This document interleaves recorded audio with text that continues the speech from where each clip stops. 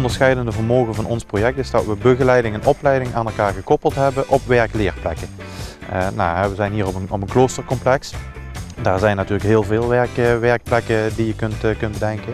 En wij noemen het ook bewust werkleerplekken en geen leerwerkplekken, omdat bij ons begint het met werken. En door te werken leren de deelnemers.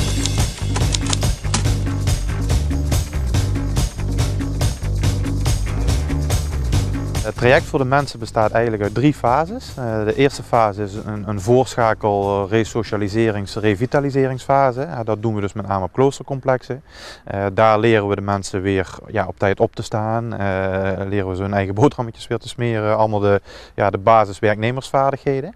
Nou, op het moment dat ze dan voldoende ver zijn, dan gaan ze naar projecten van ons die gewoon in de openbare ruimte plaats, plaatsvinden. Vaak ook in samenwerking weer met een gemeente. Die hebben vaak, vaak projecten genoeg te doen. en de derde fase is de fase dat ze overgaan naar een werkgever.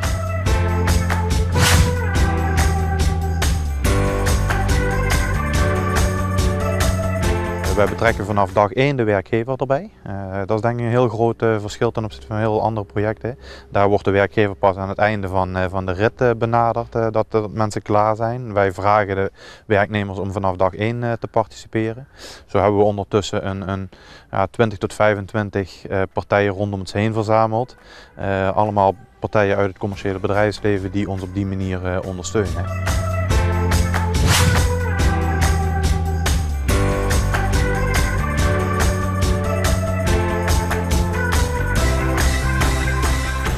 Eigenlijk iedereen met een afstand tot de arbeidsmarkt is welkom. We hebben eigenlijk maar, ja, maar één criterium waar we op screenen en dat is uh, motivatie.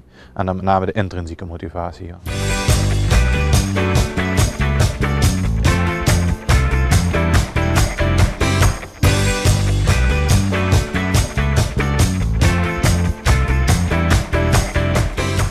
Veel gesprekken nodig met uh, desbetreffende personen om, uh, om zover te komen dat, dat ze ja, er iets in zien. Um, ook omdat in het verleden vaak ja, toch misbruik is gemaakt van, van reïntegratiegelden bij een, uh, bij een gemeente. Nou ja, eh, gelukkig hebben we een aantal gemeentes gevonden die daar met ons in, in mee willen denken. Maar ja, nog lang niet bij alle gemeentes zijn we even ver.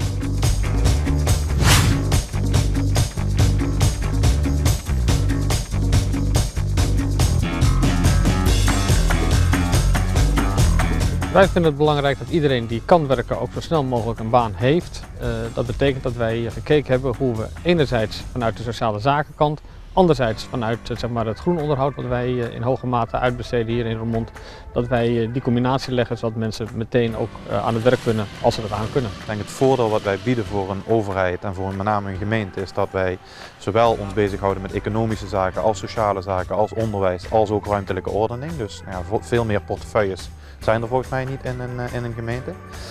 En vervolgens ons de kans te, te, te gunnen zeg maar, om ons te bewijzen.